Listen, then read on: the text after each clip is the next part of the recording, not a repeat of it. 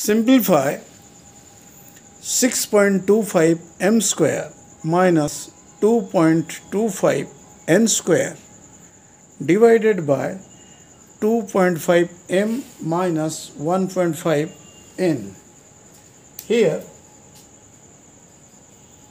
this is 6.25 means 2.5 m whole square here minus 2.25 n square means 1.5 n whole square divided by 2.5 m minus 1.5 n is there. Then now this a square minus b square the identity.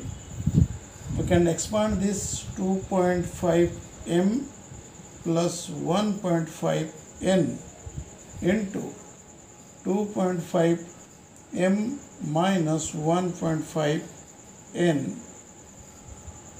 whole divided by 2.5 m minus 1.5 n. Now this and this parts are cancelled therefore the answer is 2.5 m plus 1.5 And.